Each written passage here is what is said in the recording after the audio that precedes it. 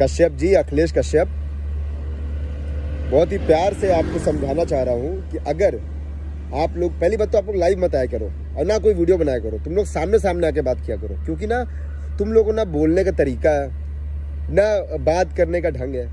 और ये चीज़ हर वीडियो में समझाता हूँ। जब तुम्हारे पास ज़ुबान नहीं है अच्छी तो उसका इस्तेमाल करो मत। और अगर करो, ये गटर खोल रहे हो तो कुछ अच्छी चीज़ें बोलो। अबे ऐसा बोलो कि सामने से पब्लिक तुमको, तुम्हारी बातों को पसंद करे।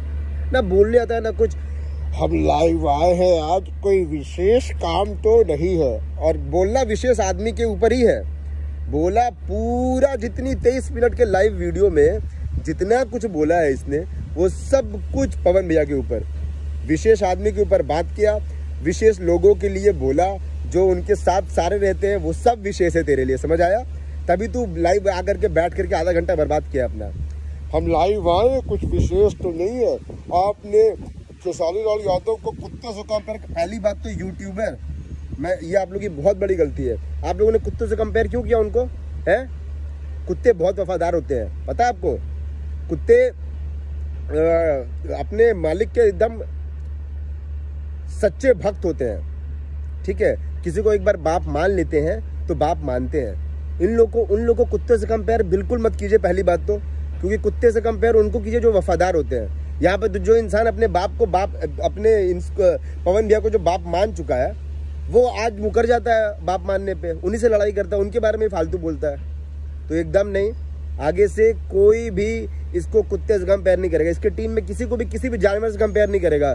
सिर्फ़ सुअर को छोड़ के। कोई भी, किसी भी जानवर से, जानवर सारे बहुत अच्छे होते हैं। ठीक है? जानवर सारे वफादार होते हैं। और तू भैंस की बात कर रहा है किससे भैंस को कंपेयर कर रहा है अबे अपनी शरीर देखा है? गेंडे? अबे उनका पेट निकला उनकी मर्ज़ी से समझ आया? वो खाते हैं और अपनी मर्ज़ी से खाते हैं। वो चाहे तो एक महीने के अंदर डाइट पे आकर के ना सबको पीछे छोड़ सकते हैं। लेकिन उनको पब्लिक वैसे ही पसंद कर रही है। वो जो करते हैं ट्रेंड होता है जो पहनते हैं ट्रेंड होता है जो गाते हैं वो ट्रेंड होता है। तो जैसे रहेंगे वो सब चलेगा। तुझे इसके बारे में कोई टेंशन लेने की ज़रूरत नहीं है कि उनका शरीर कैसा है, कैसा नहीं है। वो पब्लिक जान रही है, जो प्यार करने वाली जनता है, वो जानती है कि वो कैसे दिखते हैं। तो तू बिल्कुल टेंशन मत ले। तो एक तो तू भैया बोल रहा है, हम आपकी बहुत सम्मान करते हैं, बहुत आदर करते हैं, बहुत प्यार करते हैं। और दूसरी तरफ़ तुरंत बोल दिया है कि हम भैंस से कंपेयर करें। भैंस पता किसकी सवारी है? यमराज की। बेटा आ जाएँगे ना अपने आप पे तो यमराज बन भी जाएँगे। समझ आया? तो दोबारा मुँह खोलने से पहले सोचिए शब्दों का सही चुनाव कीजिए, उसके बाद अपना ये गटर खोलिए। अगर वापस आपने अगर कुछ बोला तो सोच लीजिएगा, यहाँ से भी हम बोला, और अगर हम बोला तो आपका गड़बड़ घोटाला होला। और एक क्या बोला? तूने कि मैं पवन भैया को कभी आज तक अभद्रता से कुछ बोला हूँ क्या हमेशा भैया करके बात करता हूँ, इज़्ज़त देता हूँ। अबे तो तू तू क्या करके बात करेगा बता? तू अभद्रता से बात कर सकता है उनसे। भैया नहीं बोलेगा तो तुम बोल के बात करेगा, नाम से बुलाएगा। क्या बोल सकता है, है तथा तेरे अंदर? है हिम्मत? हम्म?